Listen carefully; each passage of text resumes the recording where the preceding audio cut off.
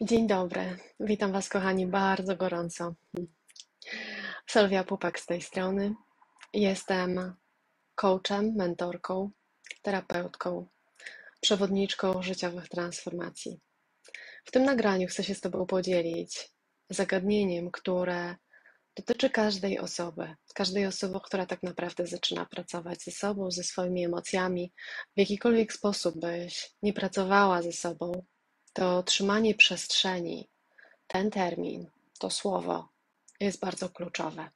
O co tak naprawdę w tym chodzi? Wiele lat temu byłam na pewnym warsztacie. Na warsztacie, który rozpoczynał się od kręgu kobiet. Pamiętam wówczas, że była to dla mnie również inspiracja do tego, by także prowadzić kręgi dla kobiet. I na jednej z grup na Facebooku właśnie dotyczącej kręgów kobiet nastąpiło ogromne poruszenie mm, na podstawie postu, który zamieściłam. Postu, gdzie pisałam, w jaki sposób chcę prowadzić te kobiety, w jaki sposób chcę trzymać krąg i, i co to tak naprawdę dla mnie oznacza. A zainspirowało mnie do tego wydarzenie, w którym uczestniczyłam właśnie podczas kręgu kobiet. To wydarzenie było dla mnie dosyć specyficzne, dosyć dziwne i początkowo czułam się bardzo nieswojo. Natomiast kiedy zobaczyłam jego efekty, byłam zdumiona. Zdumiona tym, jaką my ludzie mamy niesamowitą w sobie mądrość, siłę i potęgę, jeśli tylko dane jest nam do niej dotrzeć. A dane jest nam do niej dotrzeć w jednym momencie, w ważnym momencie. Tym momentem jest chwila, w której nie jesteśmy w emocjach. Od dziecka tak naprawdę mówi się nam, co mamy robić, jak mamy robić, co jest dla nas właściwe, co jest dla nas niewłaściwe. Wszyscy wokół wiedzą lepiej niż my i uczę się tego. Od małego dziecka każdą osobę. Każde malutkie dziecko wie, że rodzic wie jak najlepiej. A jeżeli nie wie, to bardzo szybko się tego dowiaduje. Tymczasem zupełnie zapominamy, kim jesteśmy naprawdę.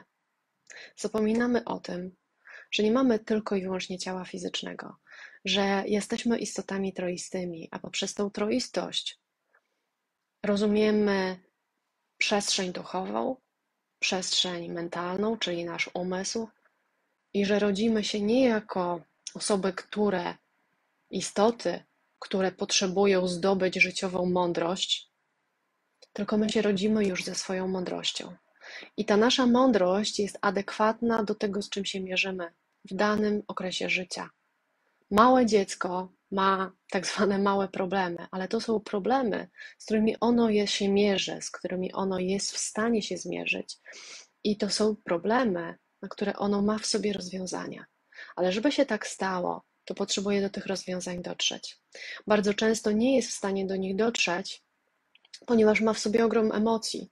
Kiedy staje przed jakimś wezwaniem, nie wie, co ma zrobić, płacze, krzyczy, denerwuje się, i kiedy jest w tych emocjach, nie jest w stanie zobaczyć żadnego rozwiązania. I wtedy najważniejszą rolą jest rola rodzica, opiekuna, dorosłego członka rodziny, który co ma za zadanie zrobić? Trzymać przestrzeń dla tego dziecka, trzymać przestrzeń dla jego emocji. Co to znaczy tak naprawdę? Na tym warsztacie, którym rozpoczęcie było kręgiem kobiet, w pewnym momencie, kiedy każda z nas, spośród kilkunastu kobiet, opowiadała o tym, co w niej żywe, co się z nią dzieje, jedna z kobiet zaczęła płakać. Otworzył się w niej jakiś bardzo mocny, głęboki proces. I pierwszą reakcją było to, w większości z nas, by ją wesprzeć, ale wesprzeć w sposób taki, by przytulić ją, powiedzieć: Nie przejmuj się, będzie dobrze, dać jej jakieś rady. Czyli wszystko, co chciałyśmy zrobić, tak naprawdę, to chciałyśmy zrobić, żeby ona przestała płakać. I z jednej strony ktoś powie: OK, no przecież chciałyście dobrze, tak? Chciałyście, żeby ona się poczuła lepiej. Ale tak naprawdę to my chciałyśmy się poczuć lepiej, ponieważ trudno było nam patrzeć na to, jak drugi człowiek płacze bo płacz oznaczał cierpienie, więc chciałyśmy zrobić wszystko, by ona nie płakała. I prowadząca osoba powstrzymała nas i powiedziała nie. i poprowadziła tą kobietę w dla mnie absolutnie niezwykły sposób, który stał się dla mnie ogromnym wzorem. Wzorem, który pokazał mi ścieżkę, ścieżkę do tego, że każdy z nas ma w sobie ogromną mądrość, ale żeby do niej mógł dotrzeć, potrzebuje najpierw uwolnić emocje, potrzebuje tym emocjom wypłynąć.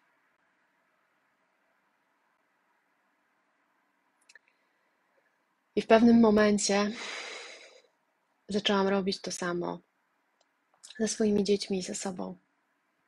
Zaczęłam pozwalać moim dzieciom na to, by w pełni czuły emocje, które czują i towarzyszyć im. I nie robić nic więcej.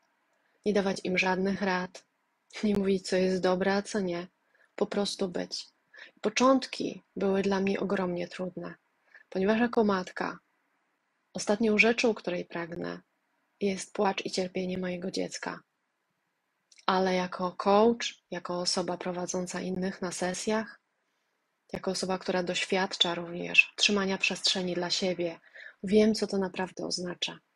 I te pierwsze momenty były dla mnie bardzo trudne, ale z każdym kolejnym utwierdzałam się tylko w tym, jak potężne jest to narzędzie, jak niezwykłą my mamy w sobie jakość, jak niesamowitymi jesteśmy stworzeniami ziemskimi.